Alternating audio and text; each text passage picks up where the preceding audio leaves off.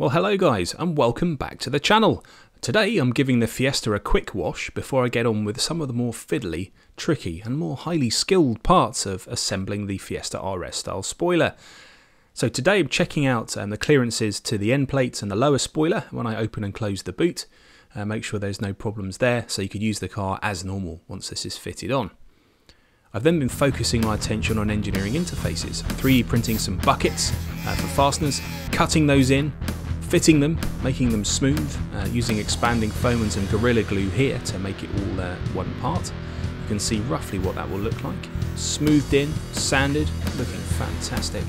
And then a quick trial with some bolts um, to make sure they all fit the holes.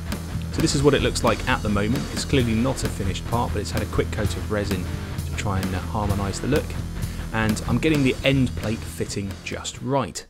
So the idea here is you line it up, um, take an outline around the part, mark up where the bolt holes are, and then to try and transfer that into the 3D computer world. I've also been investing a lot of time behind the scenes getting the rebating of the fasteners right, uh, thinking about how I'm going to connect the upper and lower spoilers together so this thing can be dismantled into its component parts. You can paint them, you can install them any way you like. So here we go. The intention here is to try and trim down the trailing edge um, and then make some little recesses, improve the hole positions uh, on the upper and lower spoiler, put a little rebate in so it all looks nice and flush when it's assembled, uh, and give a little bit of room for some tiger seal if you're wanting to make it a more permanent connection.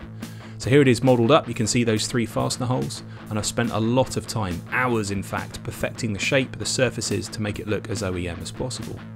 So here's the printed part uh, for the left hand side of the spoiler, haven't quite finished weeding out all the uh, build supports from the 3D printer, but it gives you an idea.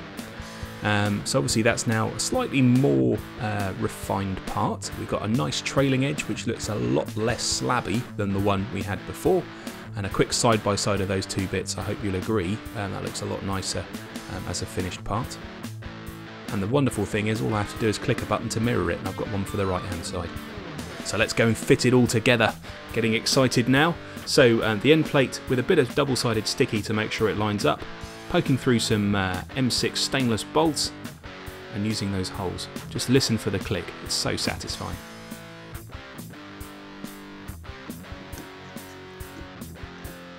And voila, the two parts are joined. So I've done that on both sides of the spoiler and that sort of sets the slot gap between the two elements on the wing.